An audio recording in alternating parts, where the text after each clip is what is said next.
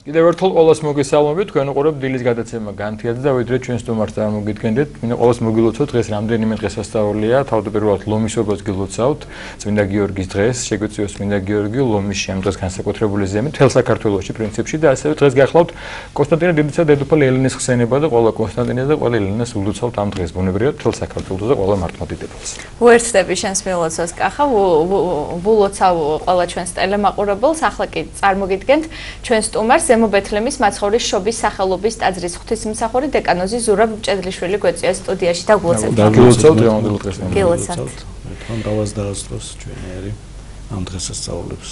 მადლობთ მამა. დღეს ჩვენ უნდა ვისაუბროთ ეკლესიის არსის შესახებ და პირველი შეკითხვა ზოგადად გვინდა დავსვათ მამა. აი რაში მდგომარეობს ეკლესიის არსი? რა არის მისი ფუნქცია და რამდენად ასრულებს დღეს ეკლესია ამ ფუნქციას? მ შეგვეწია სუფალე როდესაც სულიწმიდის მადლი გადმოვიდა მოციქულებზე, აი ამ პერიოდიდან დაფუძნდა ეკლესია და ამის შემდგომ მოციქულებმა იწყეს ქადაგება და მოქმედება სულიწმინდის მეუხებით, მისი ძალმოსლებს. დღევანდელ დღესაც ეკლესია არის სულიწმინდის მოქმედება. ეს არის მესამე იპოსტაზი, თავად თავად ღმერთი, რომლის მეშვეობითაც, რომლის მადლმოსილებითაც ხდება ადამიანის სულყოფა. თუ კი ადამიანი არ არის ეკლესიაში, მაშინ თავისთავად იმან შეიძლება იცოდეს ქრისტიან ქრისტიან საწუნეობაზე, წარმოქმნა ჰქონდეს, ცოდნა ჰქონდეს, მაგრამ არ ხდება სულყოფა, რაც არის მხოლოდ და მხოლოდ ეკლესიისთვის დამახასიათებელი. უფალი ყველგან არსებობს თავისი მადლით არ არის ადგილი უფრო სწორად ყველაფერი მის მადლში არსებობს, მაგრამ მაცხოვნებელი მოქმედება მხოლოდ და მხოლოდ ეკლესიაში არის. ამიტომ აა შესაძაც მაცხოვარი ეცხადებოდა მოციქულებს აღდგომის შემდგომ ასწავლიდა და განუმარტავდა იმ ყველაფერს რაც მოხდა. აა მოციქულებს რჩებოდათ მაინც კითხვები და აა მოციქული პასუხობდა მათ რომ ბოლომდე ისინი ვერ გაიგებენ კიდე ვიდრე არ გადმოვა სული წმინდა ესე იგი მოგეშინის ვცემელი ესე იგი ვიდრე არ მოხდებოდა მადლმოსილებით. აქ მან ყველაფრისა ბოლომდე არც მაინც ვერ წდებოდნენ მოციქულები. ამიტომ ეს ძალიან მნიშვნელოვანი არის რომ ეკლესიის სწავლება ქრისტიანული სწავლება რაც მაცხოვარმა იქადაგა რაც როგორც იმოქმედა და რაც გადმოსცეს მოციქულებმა სწორად ისე მოხდეს იმის აღქმა როგორც ის არის ნათქვამი ამის შესახებ პავლე მუსკულის ბრძანებს რომელთა ეპისტოლეში რომ ესე იგი სწავლების ქრისტიანული სწავლების გაგება ზუსტად ისე უნდა მოხდეს როგორც ის არის ნათქვამი და არა თქვა რომელიმე ადამიანს ასე გონიან ასე ესმის ასე არ ხდება. ეს არის სული წმინდის მიერ განმარტებული. შემდგომშიც მამები თაც განმარტავდნენ ამათ უიმ ადგილს საფრთხისმეტყველო ციგნისა ამ პერიოდში აი ზუსტად ამ ამ სულწმინდის მადლით ხდებოდა ეს და არა თქვა ადამიანის მსჯელობა. თუმცა ადამიანის მსჯელობაც არის ეს ოღონდ ეს არის მადლმოსილ მდგომარეობაში მყოფი ადამიანი როდესაც თვითონ უფალი განუმარტავს აგებინებს ის რაც არის ღვთისთვის დამახასიათებელი რომ ის ზრდის ადამიანს სულიერად მას მეტი შესაძლებლობა ეძლევა აღქმის ამისა რაც მოხდა. სრულყოფილად ყველაფრის გააზრება შეიძლება კიდევ ბოლომდე არ არის ადამიანისთვის მოცემული მაგრამ რაც ცხონებას აძლევს ადამიანს არინჭებს რითაც შეიძლება რომ ადამიანი ამ ყოფაში ცხონდეს და წავიდეს სრულყოფისკენ ის ყველაფერი გადმოცემული არის და განმარტებული არის. და ხშირ შემთხვევაში არის ხოლმე მაინც ეკლესიის მიმართ უარყოფითი დამოკიდებულების გამოხატვა. და მინდა ვთქვა რომ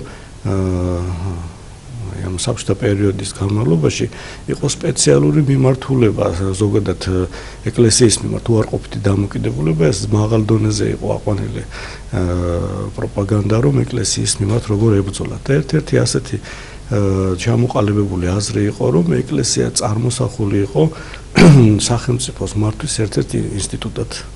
ესე იგი მონარქიის პერიოდში მეფის ინსტიტუტის ერთ-ერთი წარმონაქმნი იყო, რომლის მეშვეობიდაც ადამიანებს მართავდა. და ეს იყო идеოლოგიური ბრძოლა, იმიტომ რომ თვითონ ათეისტურ ყოფას როგორც ებრძოდა ეკლესიის მონარქიას და ამიტომ დააკავშირა მასთან რომ ადამიანებს უარყოფითი დამოკიდებულება ჰქონდათ ეკლესიის მიმართაც. და როგორც ჩაგვრელი და თქვა რაღაც მეფის ხელში რაღაც ესეთი მექანიზმი, რომლის მეშვეობითაც ეკლესიას იყენებდა ხალხის მართვისთვის და ეს ყველაფერი რაღაც ტყუილად იქნა მონათული ქრისტიანული სწავლება. აი ამ ამ ამ იდეოლოგიას ასე ხმამაღლა ბევრ წიგნში წერია ეს და ისტორიულ გამოცემებში რომელიც სწორედ აი ესეთი მექანიზმი არის. დღევანდელ დღესაც სამწუხაროდ გრძელდება ასეთი დამოკიდებულება ხშირად ზოგიერთი ადამიანის მხრიდან რომ თითქოს ეკლესია არის და იყო რაღაც მართვის ორგანიზმი და ასრულებდა იმ დავალებებს, რომელიც ამა თუ იმ მონარქს ან თქვა რომელიმე საპოლიტიკურ მოღვაწეს ჭირდებოდა. და ეს ეს ესე არ არის, უნდა ვიცოდეთ, რომ ეკლესიის არსი და მისი მოქმედების არსი არის ადამიანის ცხოვრება.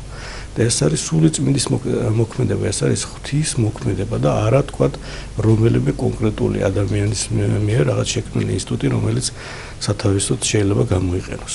ეკლესია თავად უდგება გვერდში ყველა იმ სახელმწიფო მოღვაწეს და უდგებოდა მაშინაც, როდესაც მონარქია იყო, ვინც ხვდებოდა რომ ეკლესია და თავად იყო მორწმუნე რა დატვირთვა ქონდა და რას ასრულებდა, რომ ადამიანის მარადიული ცხოვრება არის მნიშვნელოვანი და არა თქვა წარმართვა წარმავალ პერიოდში რაღაც თავისი სრულების მიღწევის საშუალება. ამიტომ ის ადამიანები, რომლებიც ასე ფიქრობდნენ, თვითონ ეწეოდნენ ეკლესიასაც და ეკლესიას ხარს უჭერდა მას და ასეთი ისტორიულად ჩვენ ბევრი ვიცით. თუმცა იყო იმ პერიოდშიც, რომლებიც მთლად ისე არ ედგნენ ეკლესიას და თავისთავად შედეგიც ცუდი იყო და ეკლესიაც გარკვეულ თავის პოზიციას ყოველთვის აფიქსირებდა და თუ კი გადავხედავთ თუნდაც ჩვენი ეკლესიის ისტორიას, თუ არ გადავხედოთ თქვა ზოგადად ეკლესიის ისტორიას, ვნახავთ, რომ ჩვენს ეს ძალიან ბევრი შემოტევა ქონდა, როგორც წარმართებისგან,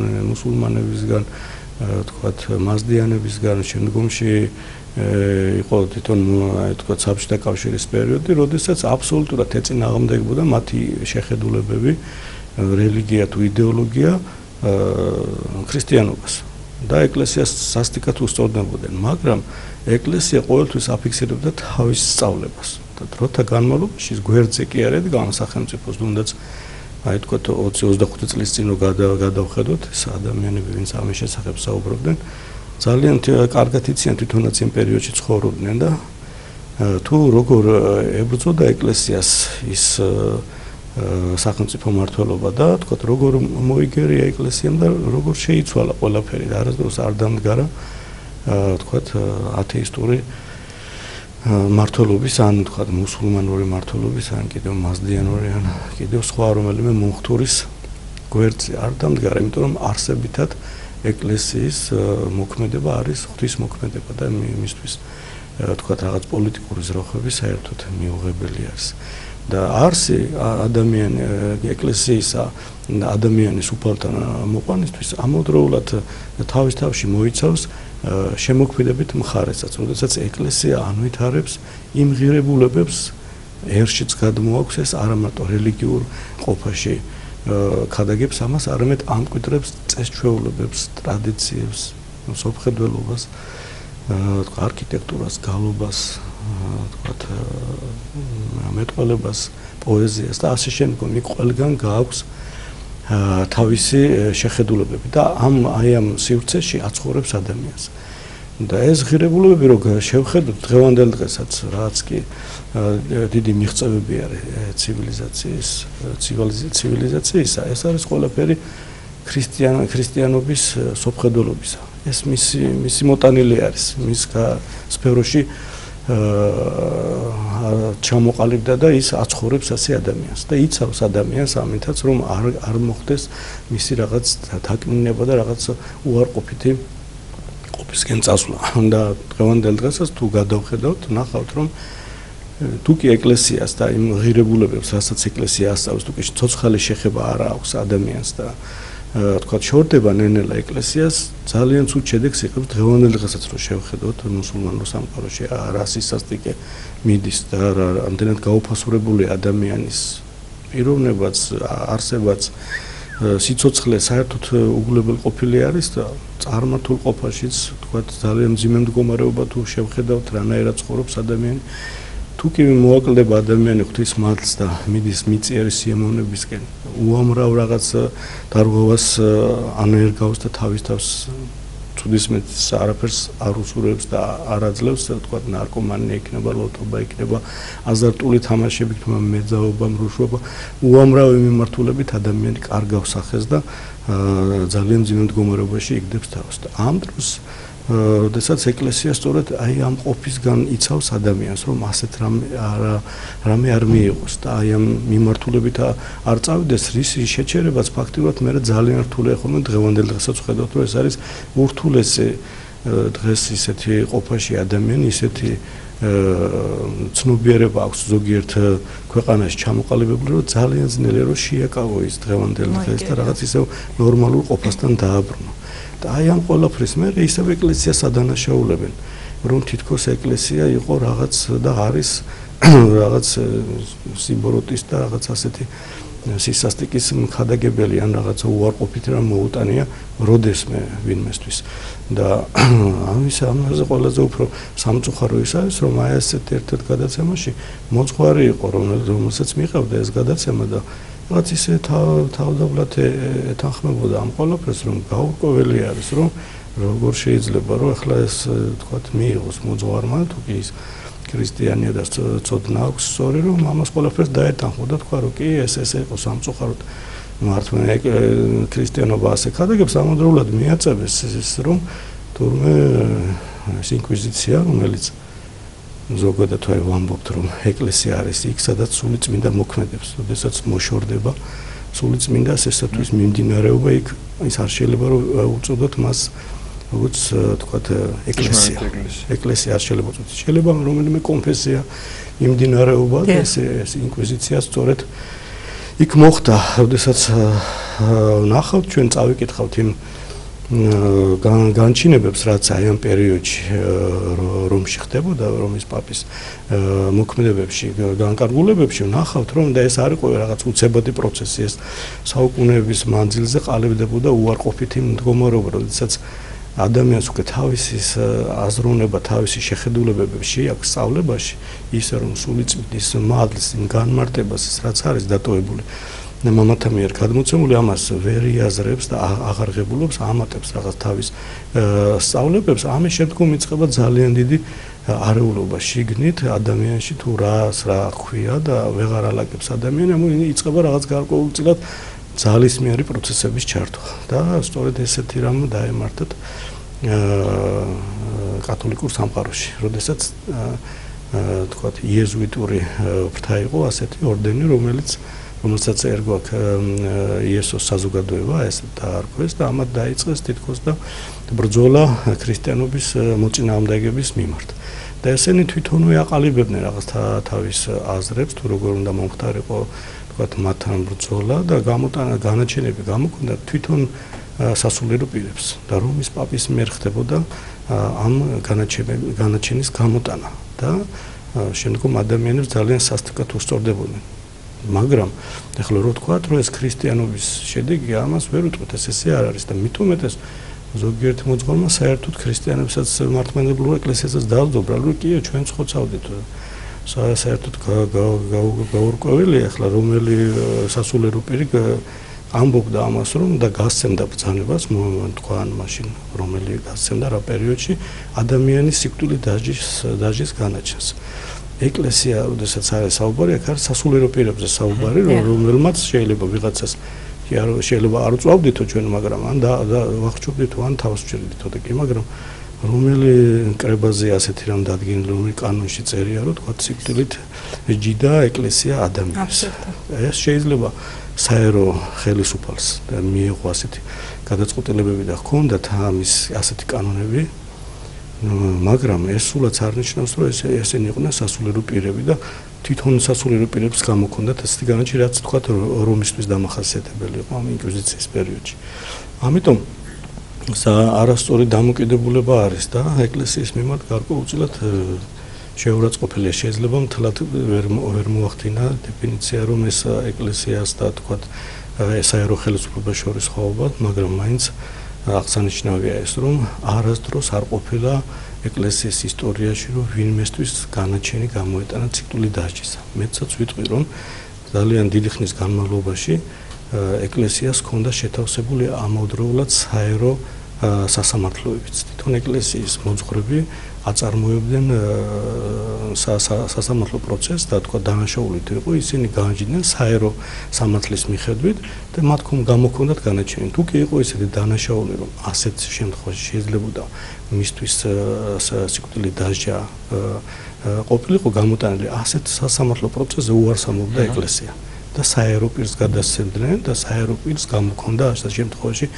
განაჩენი და ეკლესია ამ შემთხვევაშიც კი უარს ამბობდა რომ მას არ გამოეტანა ადამიანის სიკვდილის და ჩემიტომ რომ ეკლესიის მთავარი არსი არის რომ ბოლომდე ებრძოლოს ადამიანის სულის ცხონებისთვის და ამ დროს შენ თვითონ როდესაც სიკვდილი დაასჯა გამო გაქვს ეს იმას ნიშნავს რომ მას კიდევ საშუალებას უწყვიტავ რომ შეიძლება მან შეინანოს და სინანულში ჩავარდეს. ამიტომ ასეთი აი ეს დამოკიდებულებაც მინდოდა მეთქვა რომ ასეთი ასეთი რამ ეკლესიის წიაღში არ ხდებოდა. ამოდროულად ნიშნულოვანი არის რომ წეღანაც თქვი რომ ეკლესია თავისი ბუნებით, თავისი არსით ღვთის მადლი ისე ისე ისეთნაირად მოქმედებს ადამიანში რომ მის სრულყოფის გზაზე მის სრულყოფის გზაზე ადამიანს ისეთ სიყვარულში ამყოფებს ისეთ მადლმოსილებას, ისეთ აზროვნებას უყალიბებს, ისეთ სულიერ მდგომარეობას რომ ასეთ ადამიანებს სურვილიც კი არ აქვს რომ ვინმე ზიანი მიაყენოს. უწინარეს შემთხვევაში თვითონ შეიძლება ყველანაირად როგორც მაცხოვარმა თავის ცოცხლე გასწიროს სხვისთვის რათა სხვა აცხოვნოს, აი ამას აღწევს ადამიანი. აი ასეთ ნაბიჯს დგავს და არა იმას რომ ვიღაცის თავის დასაცავად ვიღაცის ცოცხლე წაართვას. ასეთი რამე არასდროს არ მომხდარა.